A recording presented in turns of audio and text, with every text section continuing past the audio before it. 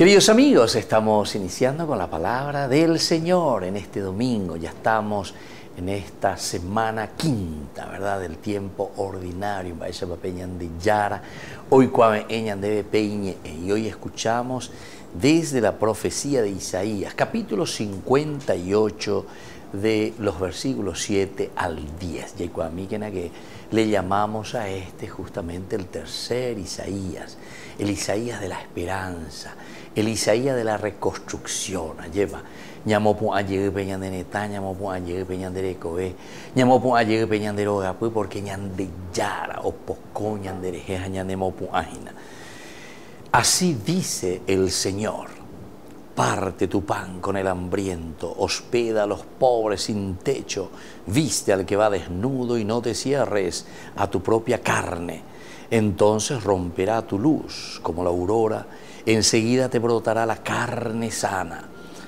Te abrirá camino la justicia, detrás irá la gloria del Señor. Entonces clamarás al Señor y te responderá.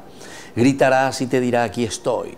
Cuando destierres de ti la opresión, en gesto amenazador y la maledicencia, cuando partas tu pan con el hambriento y sacies el estómago del indigente, brillará tu luz en las tinieblas, tu oscuridad se volverá mediodía. Qué hermosa palabra del Señor. Lleva, a vean, te lleva la ñañe etereya lleva, porque poena como cristianos auténticos. Quinto domingo ya del tiempo ordinario. Jaupeago y sejina ñande upeisha ya la ñande cristiano añetete ani la ñañe ereite ya lleva. Porque ya tu veñan de Yuruwi vegetamba, ella es añañe e veñan de Yaragui.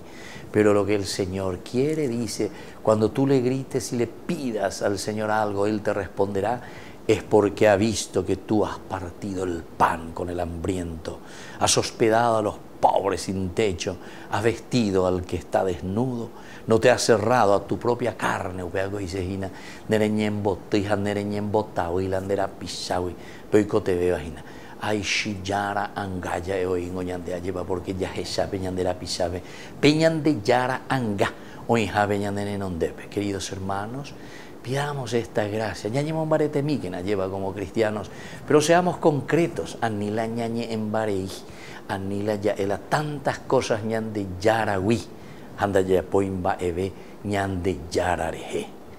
Que la palabra del Señor hoy nos bendiga especialmente, una bendición sobre cada uno de nosotros, sobre nuestro país, sobre nuestras familias.